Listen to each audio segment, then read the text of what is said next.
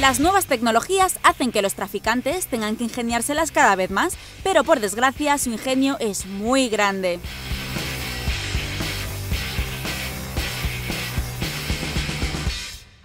Lechugas. En San Diego, hace unos años, unos contrabandistas tuvieron la maravillosa idea de meter un cargamento de marihuana valorado en 1,8 millones de dólares dentro de unas lechugas.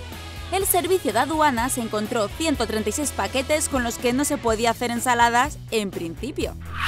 Serpientes. Lo de que las personas ingieran bolsas de droga parece que está quedando un poco desfasado.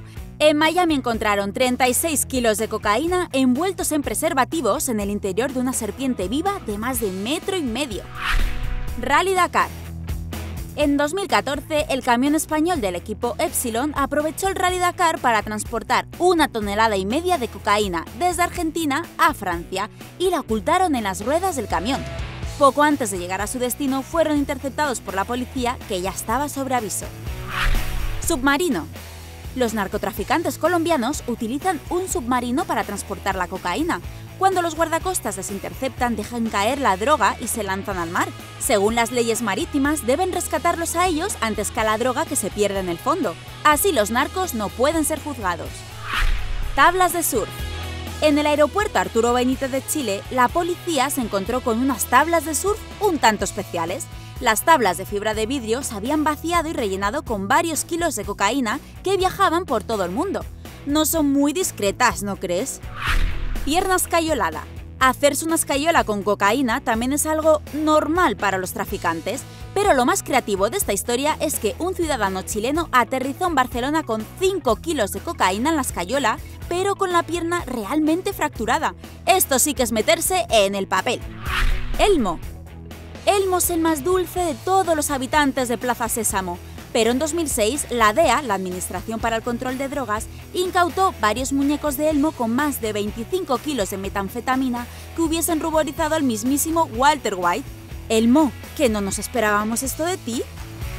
Calamar gigante. Los traficantes se han servido de animales para el transporte de drogas desde hace muchos años, pero estos peruanos lo hicieron a lo grande. Calamares gigantes. Las piezas estaban congeladas y en su interior había más de 700 kilos de cocaína cubiertos de pimienta para despistar a los perros. Pringles. En 2006 en Texas, la policía para un contrabandista con unas patatas hechas con cocaína que imitaban perfectamente a las Pringles. El artista se había molestado en crear un molde y había trabajado todas y cada una de las patatas para que parecieran reales. Menudo trabajo. La sinceridad. En Tijuana, en 2010, un anciano cruzaba todos los días entre México y Estados Unidos y los guardas le preguntaban por el contenido de la maleta. Su respuesta siempre era la misma, marihuana. Los policías se reían y le dejaban pasar hasta que a uno le dio por abrirle la mochila varios meses después y se encontraron con que efectivamente el hombre decía la verdad.